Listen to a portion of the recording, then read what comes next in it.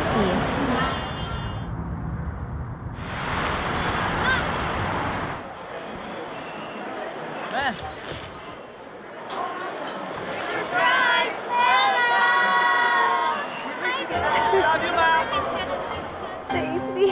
Make time to make great moments happen. It's always good to get together at Pizza Hut, make it great.